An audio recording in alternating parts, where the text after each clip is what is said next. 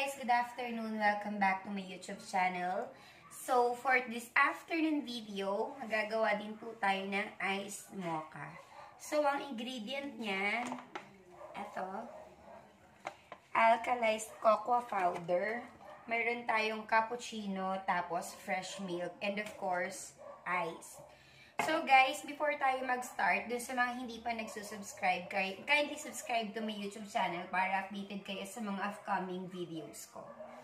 So, ito yung gagawin natin for today kasi hindi tayo nakakalabas gawa ng ECQ. So, gagawa tayo ng another home vlog, which is iced cocoa.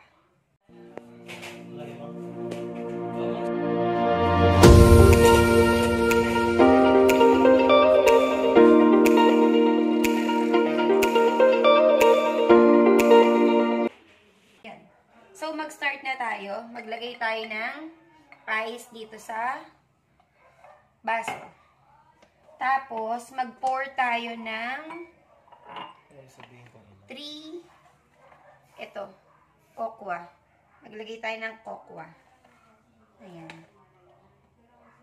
Ayan. Wait lang. Hindi ko siya matansya, guys. Okay. Then, mix natin siya with water.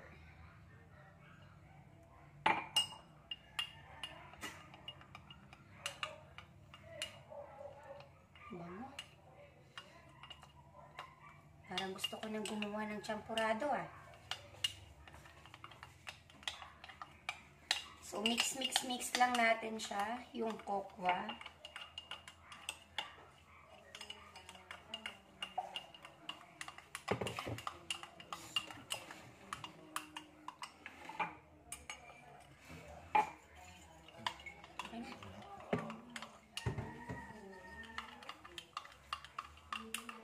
Okay.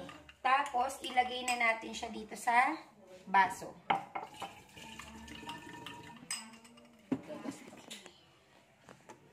Yan. So, ihalo muna natin yung gatas, yung unahin natin. Dito. Ihalo natin sa minix natin na cocoa. Ayan, guys. Tapos, mix-mix ulit natin siya. Mix, mix, mix. Hindi ako makita. mix, mix, mix, mix.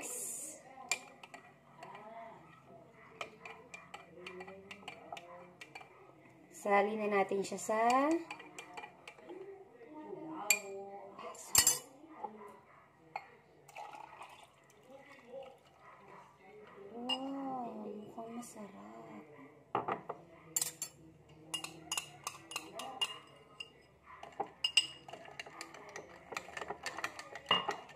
Tapos, lagyan natin sa ibabaw ng 1 scoop na cappuccino.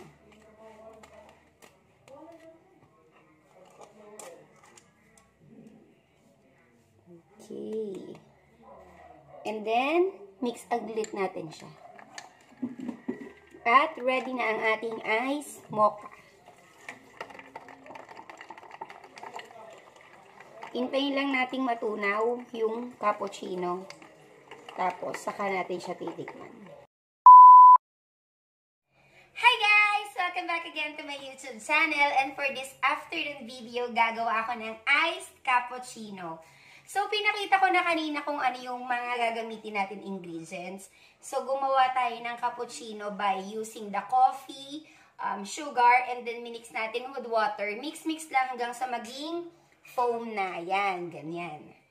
So, ang first step natin, kailangan natin ng baso, tapos may yellow. Tapos, lalagyan natin siya ng milk. Fresh, fresh milk to. Nasaan yung fresh milk natin? Pakita natin kasi baka akala nila Bear Brand to. so, fresh milk po to ha, guys. Yan. So, kung gaano kadami yung gusto mo na fresh milk, pwede na to. Tapos, mag-scoop tayo ng cappuccino. So, depende kung gaano katapang yung gusto nyo. So, ako mga isa lang. Diba ito gamitin?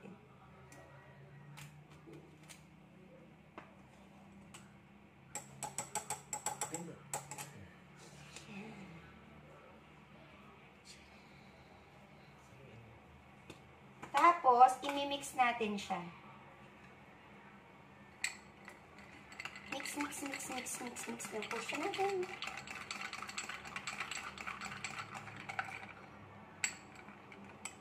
Medyo napasobra yata yung foam ng cappuccino natin.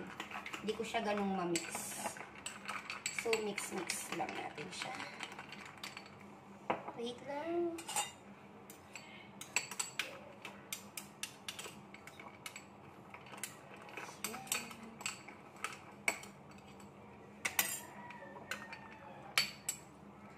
And tadan! Ready na yung ating ice cappuccino.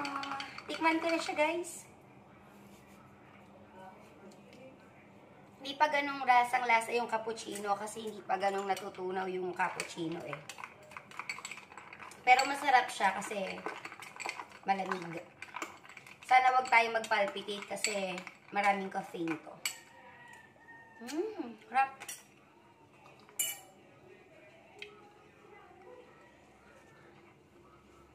Okay.